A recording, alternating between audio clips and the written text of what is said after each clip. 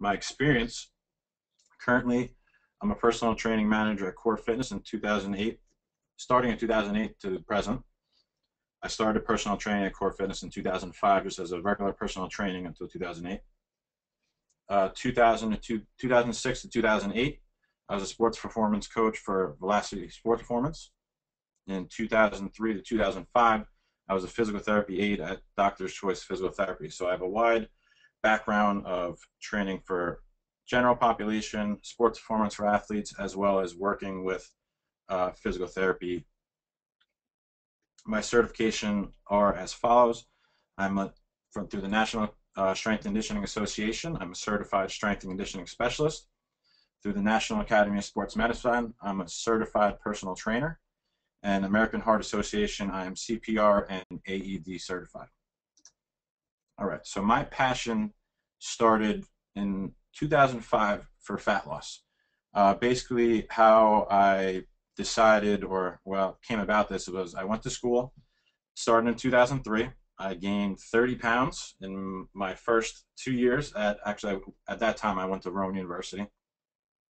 So after I came back, I started training at Core Fitness, where I am right now, and majority of the general population people wanted fat loss, as did I. So I started extensive research on training, nutrition, and lifestyle modification for fat loss.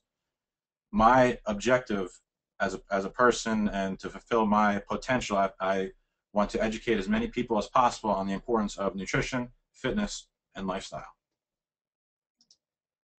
All right, so basically my presentation going through here is going to be a step-by-step -step process that I use with every single one of my clients.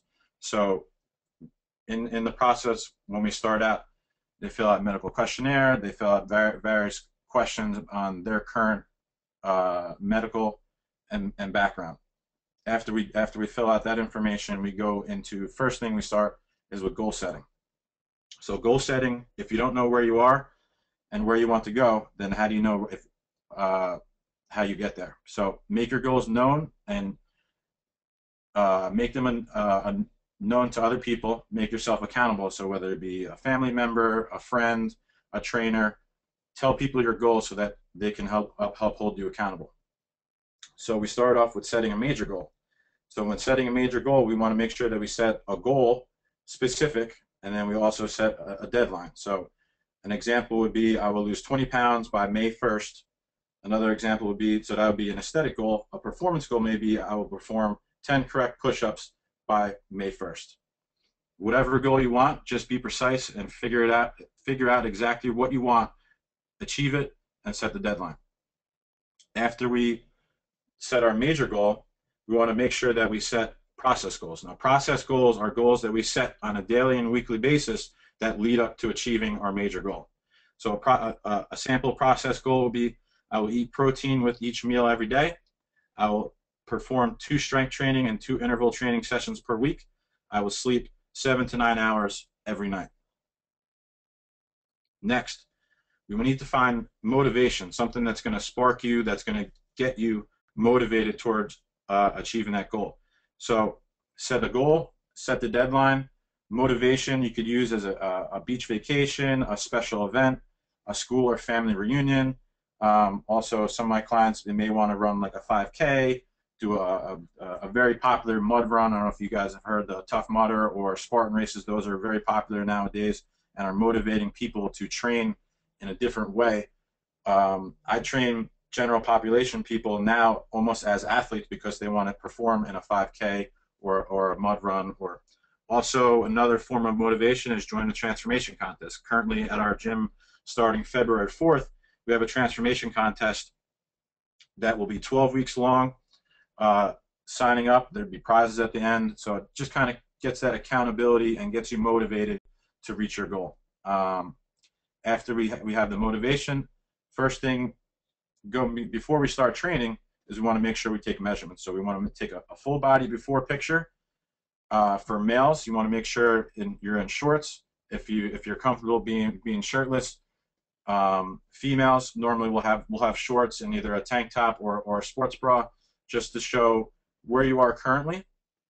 Next, we'll take body fat measurements. So body, so body fat, fat, measurements can be taken with a skinfold caliper. You can do a handheld Omron uh, bioelectrical impedance, or the, the best way, if you have you know the facility to do it, it'd be underwater weighing.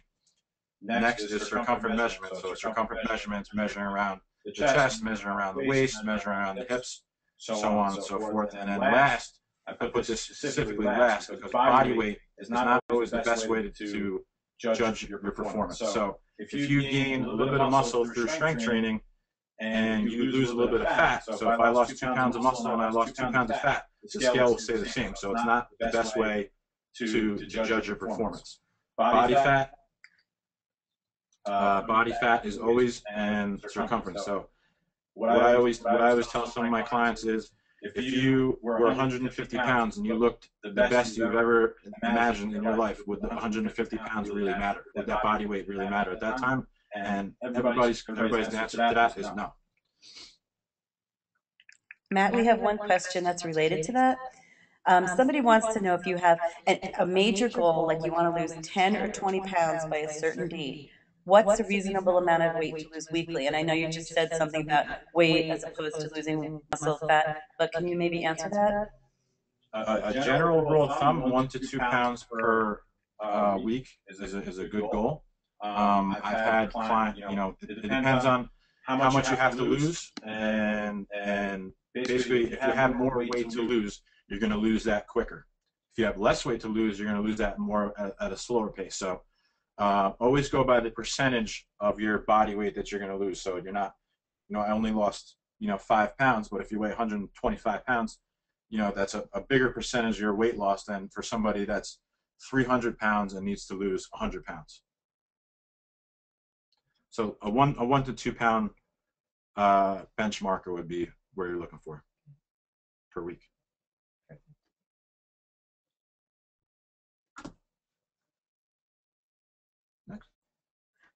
That, that's it for now. Go ahead, go ahead. Thank you.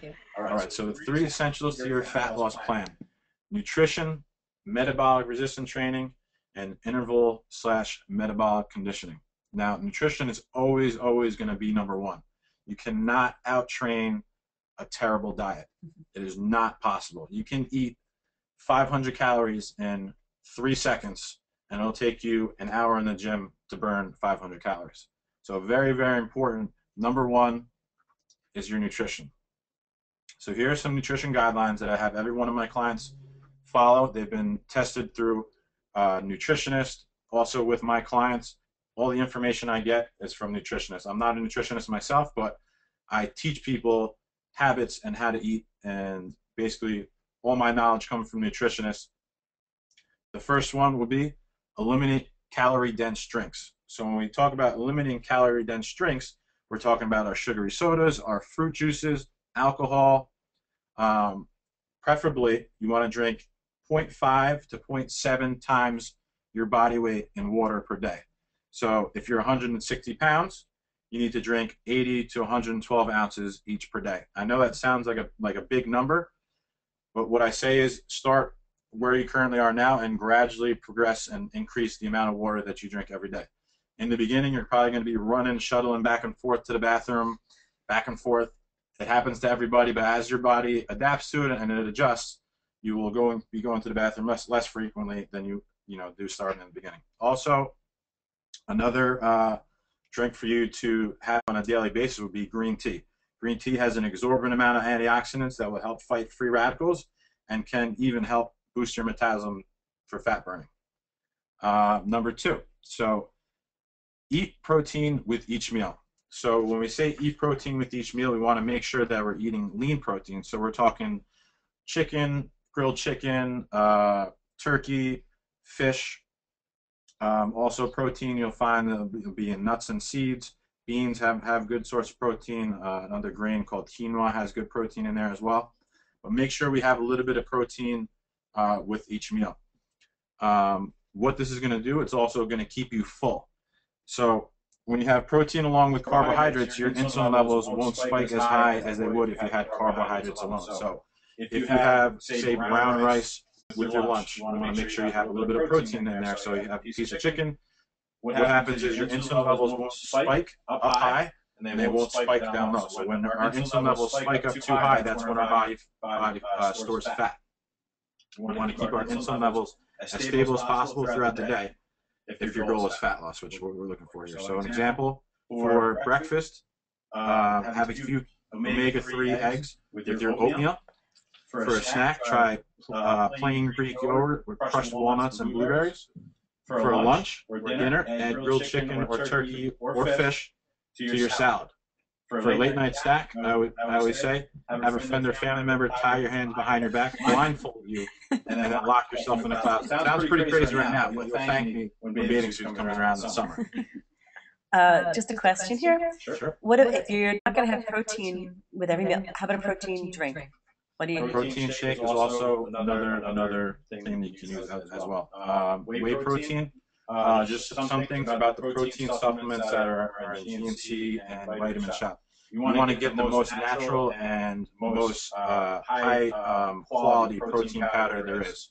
Um, there in, in each GNC and also in, in Vitamin Shoppe, there's going to be a section that says either all natural or very small uh, quantity of what they have in the store is going to be under that all natural. They're going to be a little bit more expensive, but again, you're investing in your health, so you may want to use those as opposed to some of the other uh, well well known brands such as like a Muscle Tech or something that you know has a lot of show in magazines, but that's just they, they pay for that. They pay for that marketing. Okay, a couple more questions here.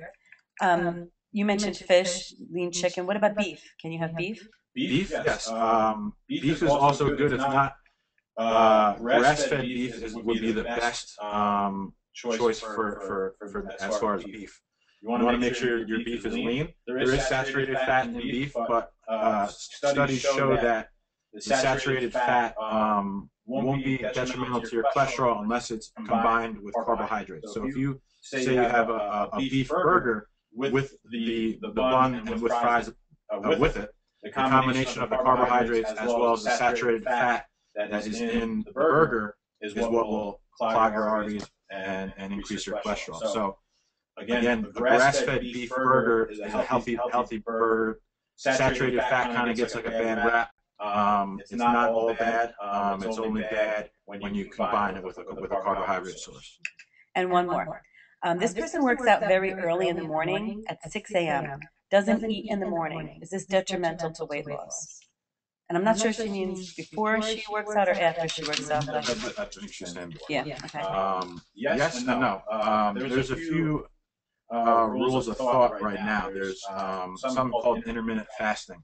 So this is a style of of, of uh, fasting. So say if you have a 16-hour fast window, say you sleep for eight hours, you don't obviously don't eat while you're sleeping, and then you go another hours while uh, eight hours while you're awake.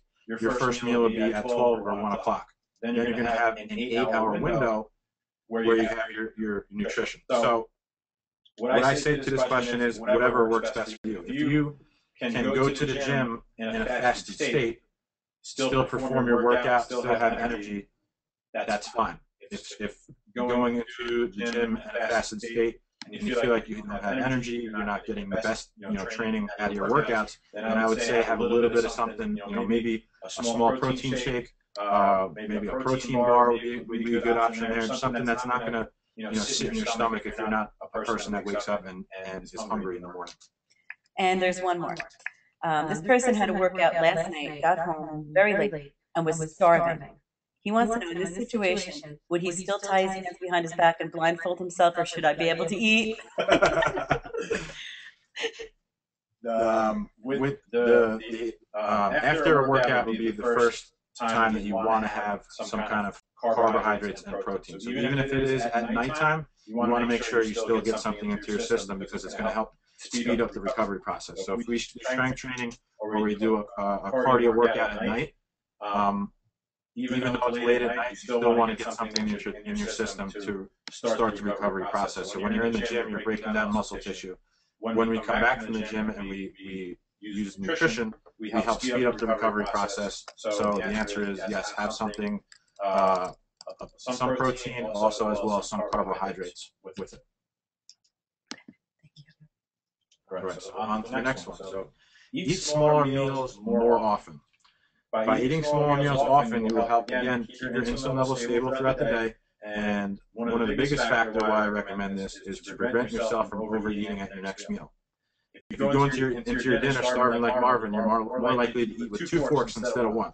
So if we eat spread throughout the day, a little bit of uh, a little protein, a little bit of carbohydrates, another two, three hours later, have another little bit of protein, a little bit of carbohydrates, going into your dinner or your bigger meal. So if you have breakfast, a small snack, then a lunch, going from breakfast into lunch, if you leave that five to six hour period, you're more likely to go into that meal hungry and more likely to overeat. Uh, next, eliminate processed foods and eat whole foods whenever possible. So, switching from foods out of a box or in a bag to fresh foods is very, very important. Eating processed foods can wreak havoc on your health and increase inflammation in your body, leading to a boatload of problems down the road. Along with that, also decreasing fat burning as well. Uh, stick to eating lean proteins, fruits and vegetables, some grains, uh, legumes or beans, uh, nuts and seeds. A good rule of thumb in the grocery store is shop on the perimeter of the store. So everything that's going to be in the boxes, that's going to be processed, most likely will be in the middle of your store. All of your uh, outside, outside, so on your, you know, the dairy, produce, meats, that that stuff is gonna be along the perimeter of your store. So if you stay along the perimeter, you won't, you may not even tempt yourself to even go into the process section and be tempted to get, you know, some, some candy or, or what have you. Um, next, keep a food journal. So, So research shows that if you keep a uh, track of your nutrition by recording in a journal, or now that have apps on your phone, you can use that as well. Anything where you're gonna record what you're eating on a daily bas- basis, that you eat thirty percent better just from doing that alone. Uh, even more powerful than that is having a coach, a training partner, friend or family member, member to keep you accountable. The simple act of writing down what you eat and being accountable to somebody, somebody else goes a long way. So start tomorrow by writing down what you ate, what you drank, and what time you had it, and you'll find yourself already making far better food choices than before just because you're writing it down.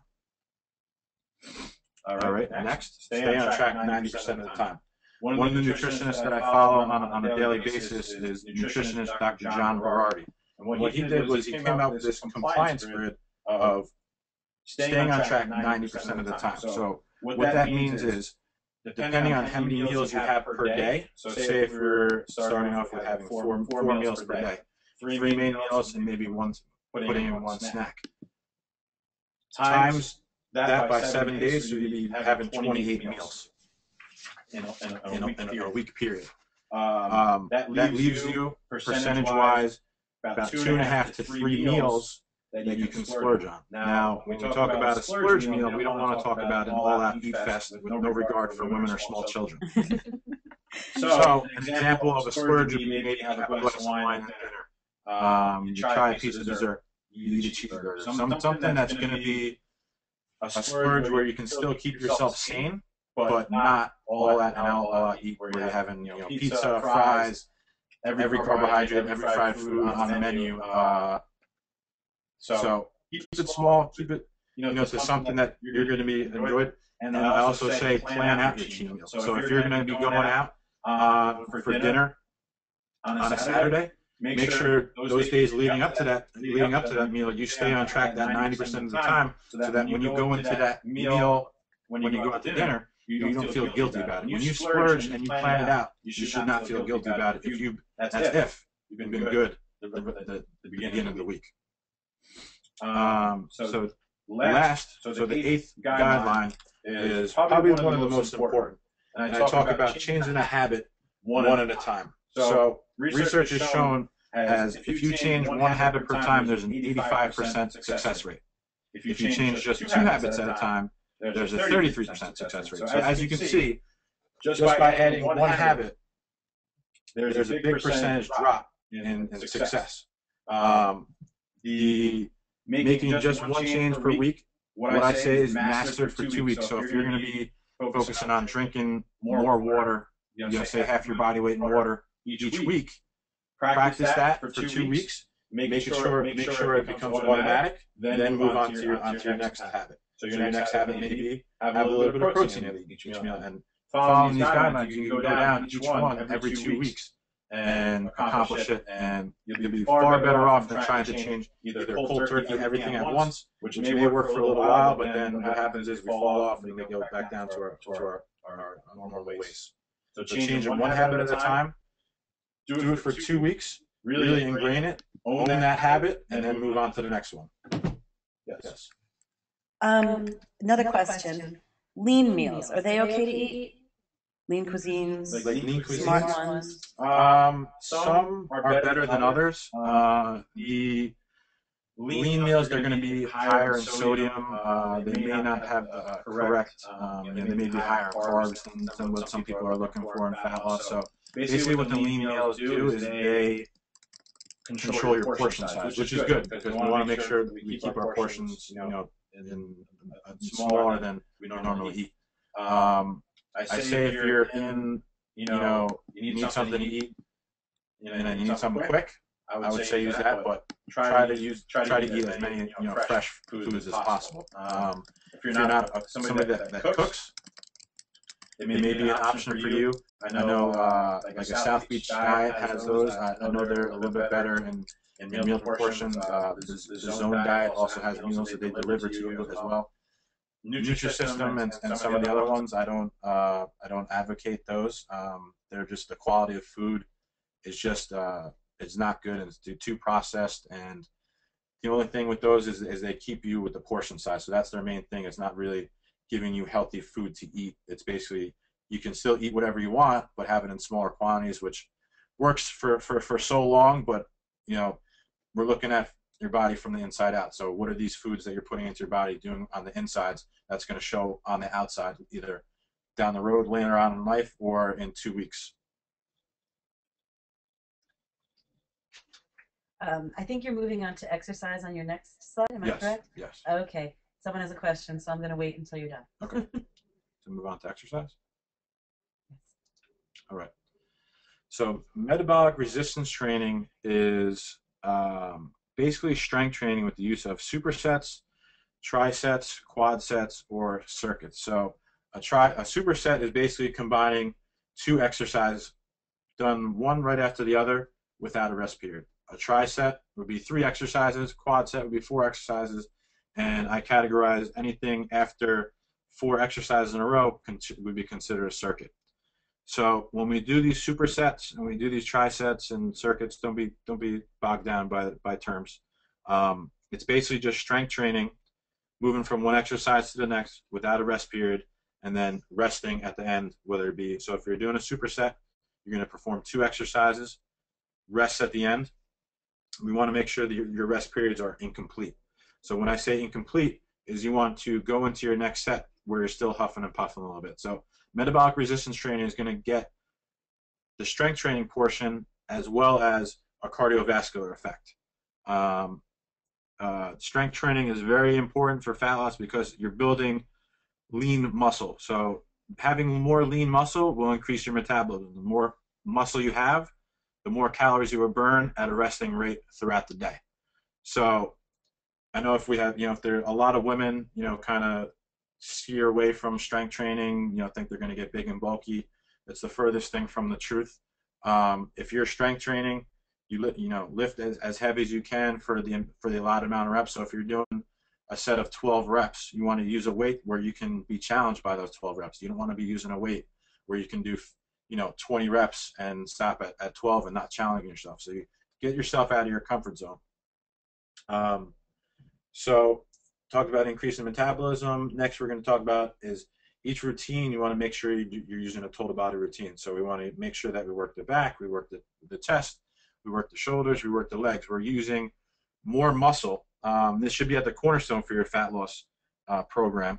Uh, this type of training will also boost your EPOC. EPOC is your excess post-exercise oxygen consumption, which means recovery from your metabolism to pre-exercise level. So when we strength train, our metabolism is going to be elevated to where we're strength training, we're going to burn calories at an elevated rate, as well as after exercise. So research has shown that you, you're going to burn calories up to 38, 38 hours afterwards at an elevated metabolism rate.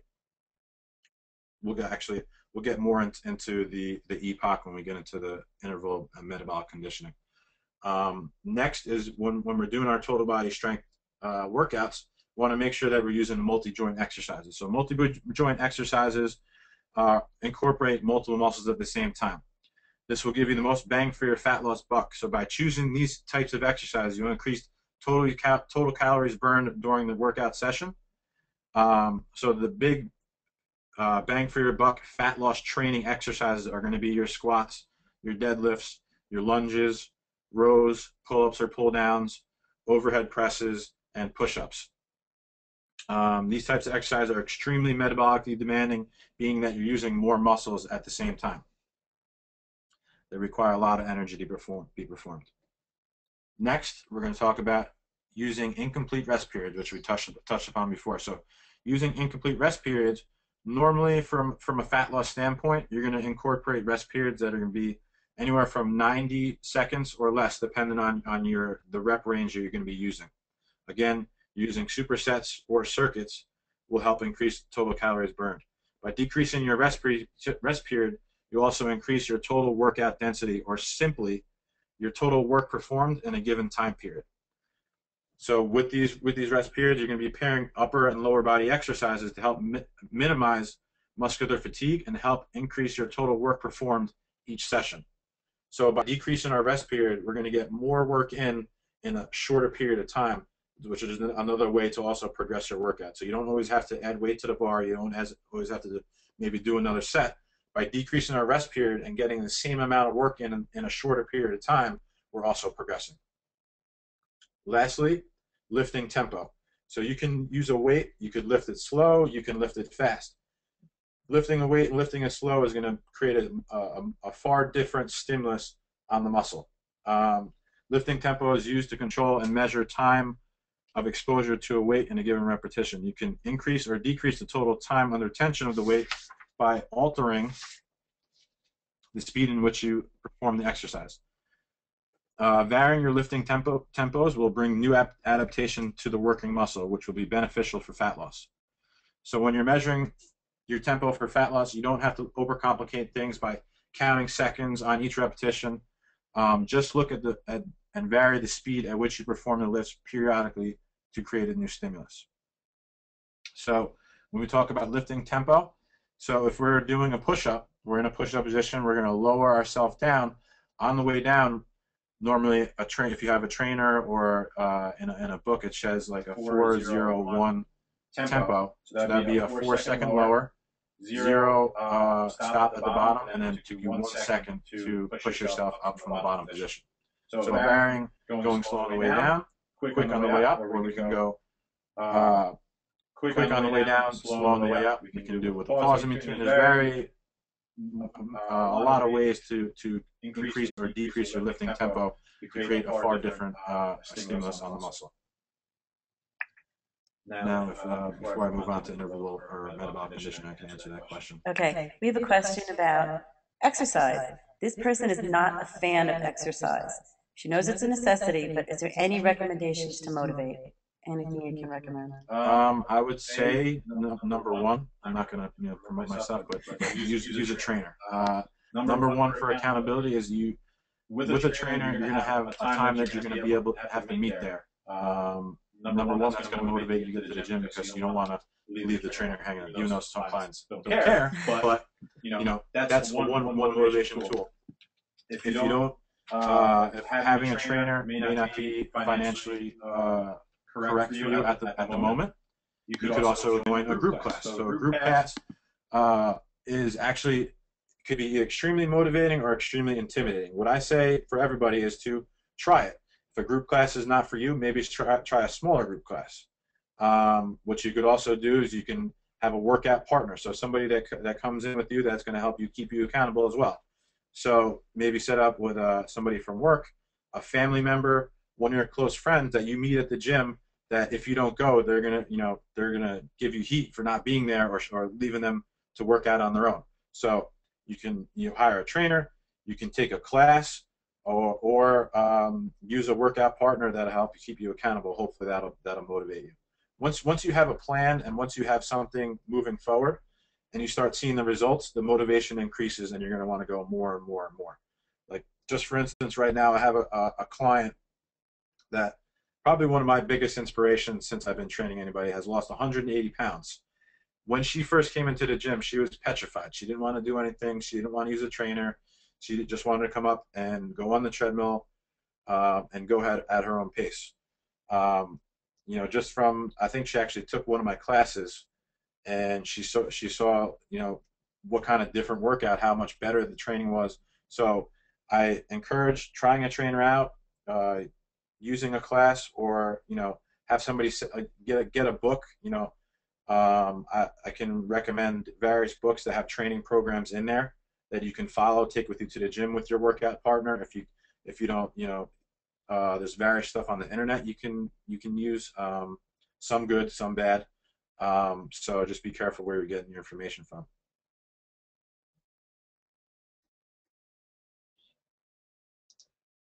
All right. Sorry.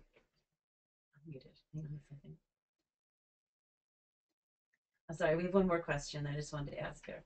Um, you mentioned doing a total body workout. Does that mean it is wise to target both upper and lower body in one session, or should it be split? So this person is saying, example, yesterday he did an upper body, today he's doing legs. Is that a good approach? Uh, yes, yes and no, depending. Um, I always start off everybody with a total body session. So if you're doing upper body and you're doing lower body in the same session, a lot of times what I'll do is I'll, I'll pair it off. So we'll do a set of push-ups, and then we'll go into a set of squats, and then we'll rest. So varying upper and lower um, actually co-peripheral heart action, you actually burn more calories because the blood flow has to go from upper body back down to your lower body, back to the upper body, back down to your lower body. So you actually burn more calories. Now, not to say that an upper and lower split won't work for fat loss. Um, it may not be the best way to start out. So if you're doing an upper lower split, you may have to add in some of these more of these interval metabolic conditioning to get some of your, you know, to elevate your metabolism. So if you're doing upper body split one day, maybe you may want to do an interval workout afterwards, which I'm going to get to in, in a minute. Um, when you do your lower body session, maybe you just do just a lower body session, maybe some some light aerobic cardio afterwards. Um, but what I normally normally recommend is to start out two total body strength training sessions per week and two interval cardio sessions per week. So that's kind of like a baseline. Once you start seeing results and you want to kind of switch up things, then you can go into an upper and, and lower uh, split. Good. All right, All right so, so interval slash metabolic conditioning. Uh, basically, uh, to sum it up, it's a period of high intensity work and a period of low intensity work. So the landmark study for interval training uh, was Tremblay et al. Impact of exercise intensity on body, body fatness and skeletal muscle metabolism. So the researchers compared 20 weeks of steady state, steady state aerobic training to 15 weeks of anaerobic interval training. So what the research showed results was the aerobic group burned a total of 28,661 calories. Now compared to the interval group, who burned far less calories, 13,614 calories, the, the findings were, were mind-boggling. What the researchers found was uh, how much sub, subcutaneous fat lost the interval group lost nine times more fat than the aerobic group, despite training five less weeks and devoting less total workout time each session. So let's go back to something I touched upon was, was EPOC, so the excess post-exercise oxygen consumption. So when we do this interval training, we increase our metabolism to be burning calories at an accelerate. Basically, the the the higher the intensity, the more calories you're going to be burning for that time period that you have that high intensity. In the low intensity is we want to do is a recovery mode, so we call it active recovery. So, for instance, if we use uh, a bike as the mode, we're going to increase our our intensity by pedaling faster. We want to make sure that we use resistance with that also. So I give like a, a general rule of thumb to keep your RPMs on the bike between 80 to 100 you don't just want to go too fast without resistance because then the pedal is going to be taking your legs and you're not going to be able to get the most benefit out of it. Um, so after we, you know, we do the, our interval training workout, our metabolism is going to be elevated at a higher rate. Research has shown again for up to 38 hours afterwards. So you're going to be burning calories at a higher rate than you would normally if you didn't do that interval session. So one of the big things in, in the fitness industry right now is aerobic training or interval training for fat loss. Um, so as you can see, you know this this study is, is and there's there's this is not the only one. This is just the main one that in our industry has has shown that interval training for fat loss is a far superior tool than aerobic training. So it also shortens up the time that you're in the gym. You work a little bit harder. Um, I also say that it's a little bit less boring because you're you're alternating between that high intensity and that low intensity.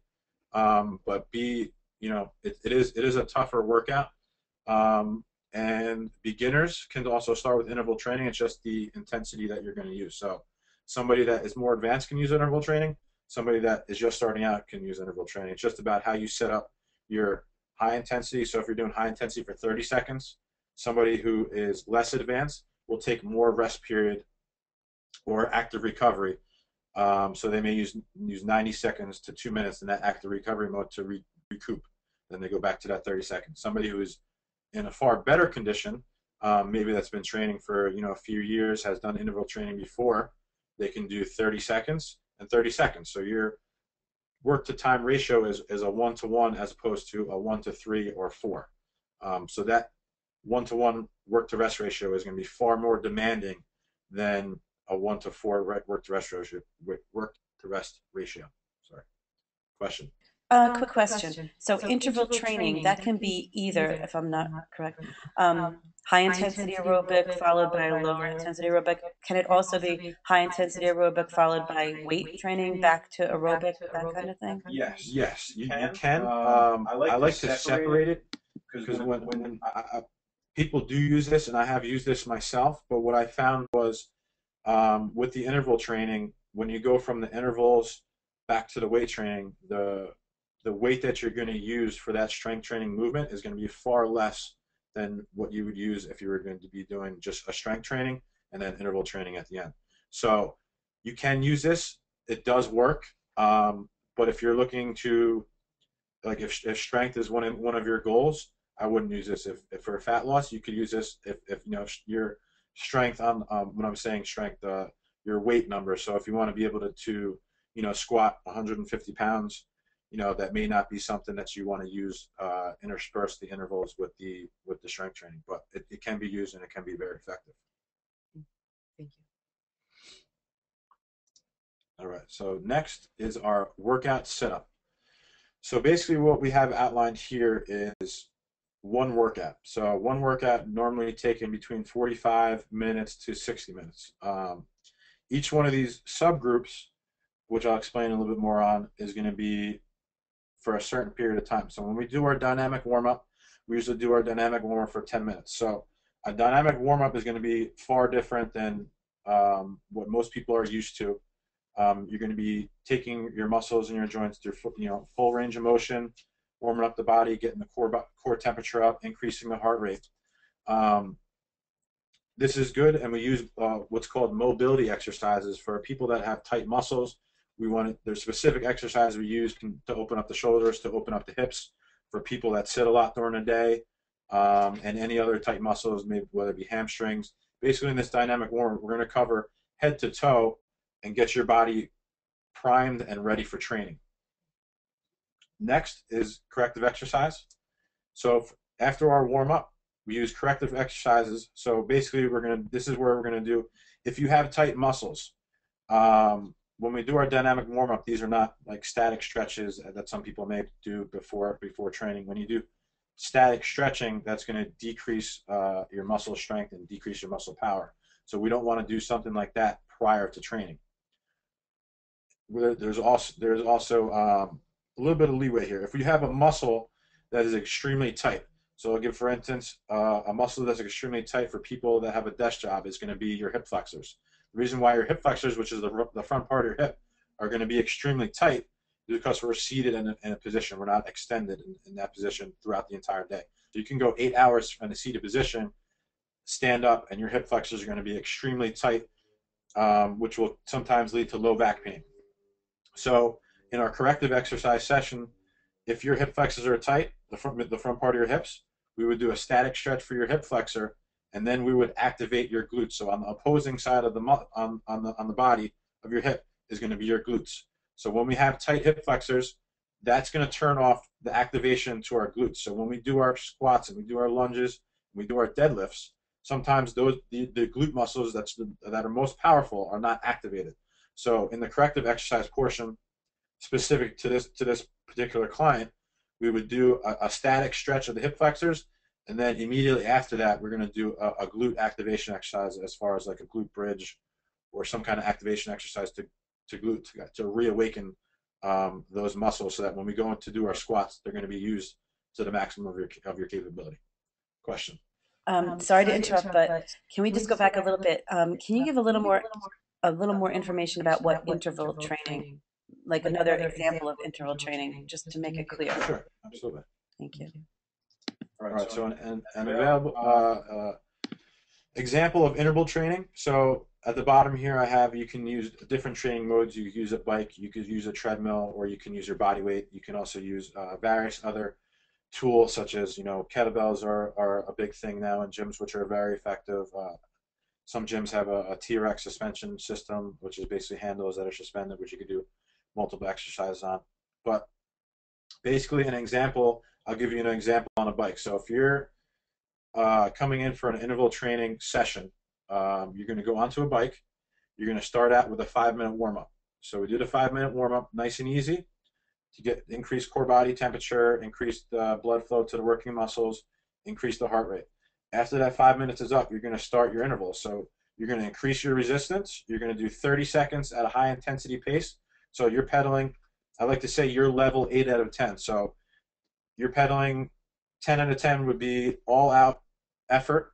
You're going to start pedaling at like an eight. So a little bit more than three quarters of a speed with that resistance. You're going to do that for 30 seconds.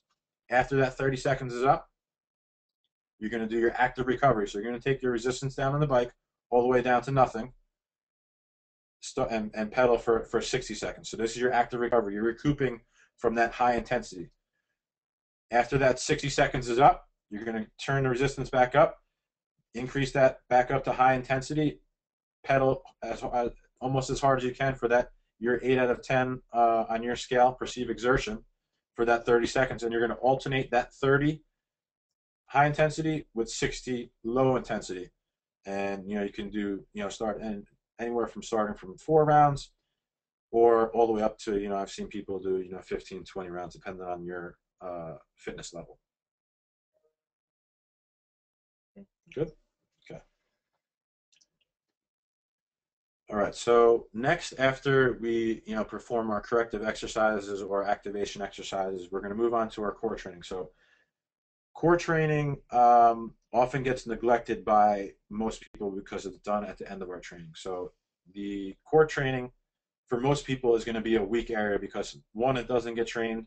Two, it, it gets trained incorrectly. Um, core training example would be uh, the industry has moved more towards stabilization exercises such as planks, such as uh, side planks, uh, and, and number of, of variations that you can do that help stabilize your core and and it's actually how your how your core should function. So doing thousands and thousands of crunches, research has shown uh, through uh, uh, Dr. Stuart McGill, he's kind of like the, the back guy in the fitness industry, that thousands and thousands of crunches are going to be wreaking havoc on your lower back and, and your lumbar disc. So the reason why this is, I give an example uh, analogy of a credit card. So if you take a credit card and you bend a credit card back and forth, back and forth, back and forth, what is eventually going to happen? The credit card is going to snap.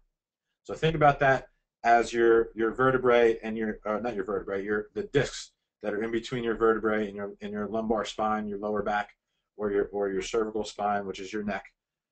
After so many crunches, so many crunches, so many crunches, the uh, disc is becoming going to become weaker, going to become weaker and weaker until someday, you know, hopefully not you know you, her, you herniate a disc or you have a, bul- a bulging disc in, in your back. So a lot of a lot of um, lower back problems can be attributed to doing lots and lots and lots of crunches. Um, also with that is any kind of rotational movements where you're separating your upper body from your lower body. So we can do, uh, say, if you're seated, um, it's called a Russian twist. I'm not sure if people are familiar with this exercise, where you're seated, you take a medicine ball you're holding, um, you lean back slightly, and you're going from side to side, turning your upper body while your while your lower body or your hips are anchored in position. So you're separating your upper body is moving, your lower body is not moving. In that position is going to be very, very detrimental to your to your spine.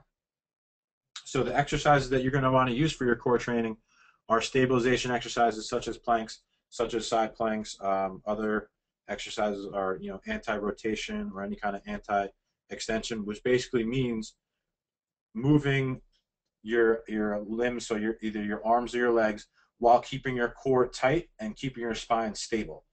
Um, you know, when we walk, when we run, when we jump, is when our when our core is turned on, but we're moving from our limbs. We're not moving from our core. So you're going to be much much stronger with your core in a stable position rather than having it moving back and forth. So that sums up core training.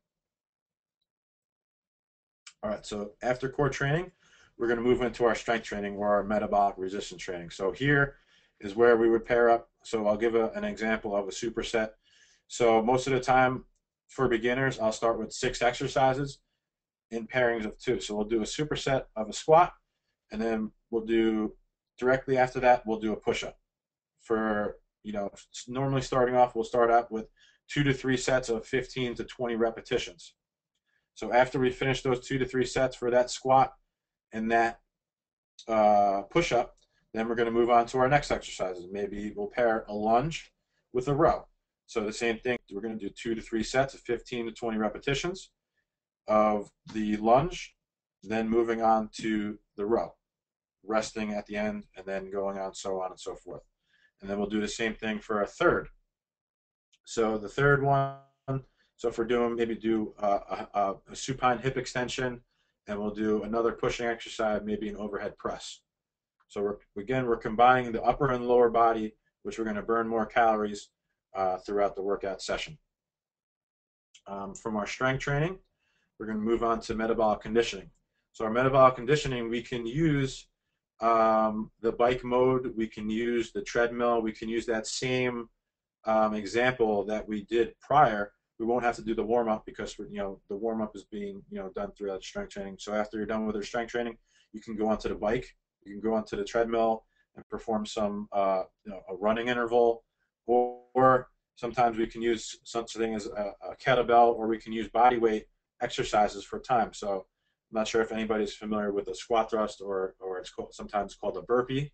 We can do those exercises, and we can do that for time. So if we're going to do a set of burpees, which is uh, for 30 seconds, that's going to be metabolically uh, taxing on the body. So we can do that for 30 seconds, and then we can use our 60 seconds of active recovery, whether we're walking around, um, whether you know do a march in place, but something that's not going to be strenuous, so that when we go into that burpee again, we're going to be able to give a full effort. So a lot of times, uh, what will happen is um, fitness enthusiasts will will not want to rest, and we don't want to do that. We want to make sure that we that we rest so that when we go into that interval or that high intensity period, we can give our full effort. If we go into that high intensity period, we're not rested enough and we're not able to give our full effort, we're going to burn less calories.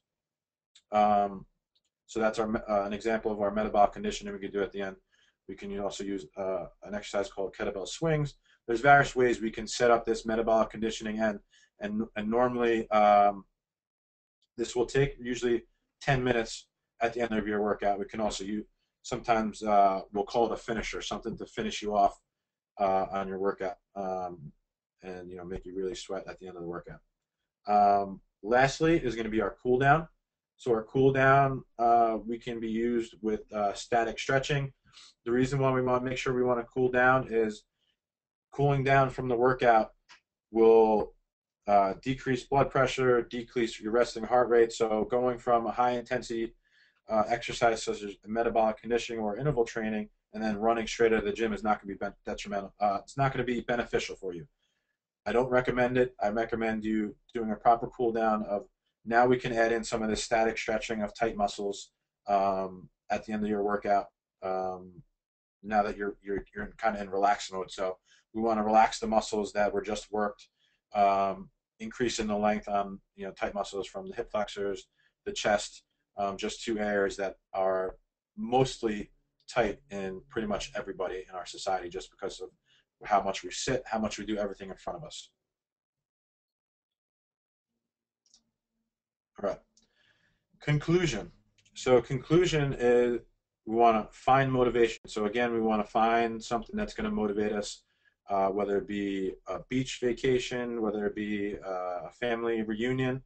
Find something that's going to light a spark underneath you and really motivate you to accomplish your goal. Um, set a goal and set a deadline. Be very, very specific. If you don't know exactly where you want to go, you cannot lay out a plan to achieve it. Um, so the plan comes from your process goals. So your process goals will be your plan. So if you're getting two interval training and two strength training uh, workouts per week, again having a little bit of protein with each meal. Make sure you're getting adequate rest, which is extremely uh, uh, it's extremely important for fat loss. Making sure you get enough rest. So sleeping between seven and, and nine hours. If you're not getting enough rest, you're going to be increasing a hormone called cortisol. Uh, so um, the hormone called cortisol uh, increases your stomach fat. So that's where your, your, your hormone will increase. Look at your nutrition guidelines. Don't be try to do everything, be the hero and try to do everything at once. Change one nutrition habit at a time. Do it for two weeks, own it, and then move on to the next one. So one at a time. I recommend it very, very highly so that you don't get too much too soon and then you know do good for a little while and then kind of taper off because it was you know it was too much you took on too much at once.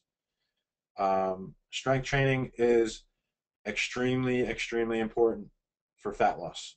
Um, you know building lean muscle uh, help uh, is extremely important. Um, interval training with that high with your high intensity and low intensity is also extremely uh, important not to say that aerobic training uh, does not work for fat loss. It's just not the most efficient way to go about training for fat loss. So if you're somebody that can only get into the gym, say two or three times a week, you're going to want to do your strength training and you're going to want to do your interval training afterwards, because you won't have the time to go onto the treadmill or go onto uh, a piece of cardio equipment for that 45 to 60 minutes. Um, it's just too time consuming, and especially um, nowadays with people, you know, everybody's busy. Uh, we want to get into the gym we want to get out and we want to use the most effective tools to get you the fastest results possible. And then rinse and repeat. So set out your schedule. Everything we have we have uh, in, in our guidelines from from nutrition, from on a daily basis. You know, having your your goal, uh, strength training, interval training, rinse and repeat. Be consistent with it is the most important thing. If you set out a plan and you set out something to do, is be consistently be consistent and be patient. It's not gonna, you know, if you gained 20 pounds or 30 pounds over over you know a shorter period of time, and you've had that same 20 or 30 pounds over the past four years, do not expect it to come off in 10 days. There are things that you can do to accelerate it, which I you know have listed here with the strength training, with interval training, with the the guidelines I give you with the nutrition. But be patient and stick with it. All right, so a little uh, self promotion on the last page here. My services. Uh, like I said, uh, I'm a, the personal training director at Core Fitness in Closter, New Jersey. Each one of my training sessions, I work with between one and four people at the same time. So it's not set up as like a group class each person has their own individual goals and has their own individual program that I monitor throughout the throughout the, the hour. So basically, they're paying between say forty-five and fifty dollars for the session, as opposed to if you do if you did private, which is between eighty and hundred dollars per session. So it's much more feasible for the client. And also, what I found was is the clients get get far better results because when they come in, they're accountable also not only to me, but they're also accountable to their two or other two or three other training partners that are with them that day. I've had clients that, you know, just matched up on just because their schedules worked out, didn't know each other, you know, from a hole in the wall, and now they're best friends. They're sharing, um, they're sharing recipes. They're sharing uh, things that work for them, things that didn't work for them. So it builds that social support. One of the big things with training for fat loss is having a, a, support group that are that like-minded and, and achieving uh, similar goals.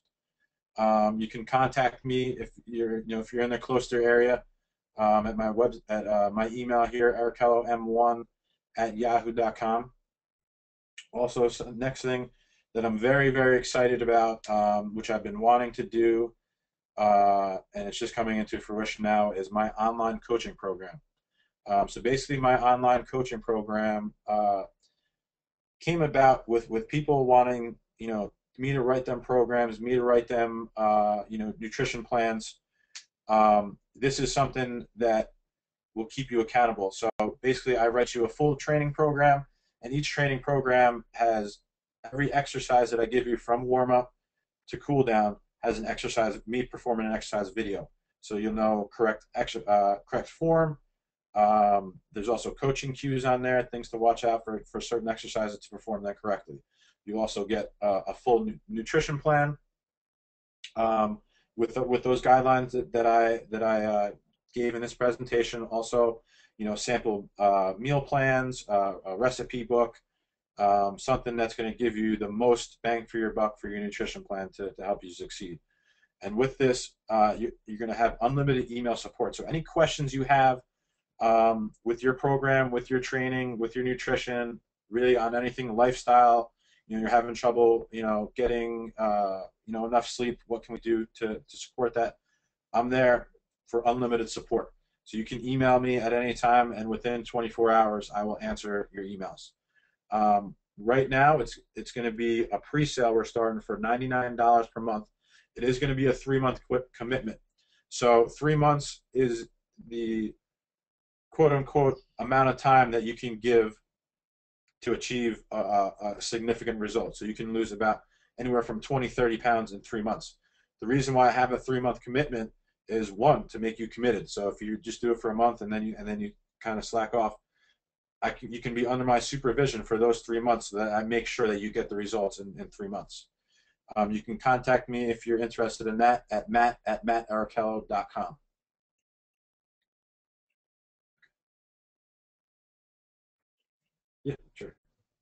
Um, I'm sorry, it's one o'clock and people are starting to sign off. So um, if you could, you're all going to get a copy of this PowerPoint. We're going to post it. Um, as you see, he, um, Matt does have his online coaching program. He also has a blog and a YouTube channel um, and a Facebook fan page. So if you could like him there, that would be great. Um, a few questions came in a little late, so um, we will also answer those and send them back, send the answers back. And if anybody has any questions of, for Matt, they can email him, or they can email me, and I will forward them to Matt. So, and I hope you all enjoyed the presentation today. And we want to thank Matt for coming in and doing it. Thank you. Thank you. Thank you very much. I appreciate your guys' uh, attention. And any, like Sharon said, any questions you may have, you could send over to my email, and I'd be happy to answer any questions that we had with the presentation.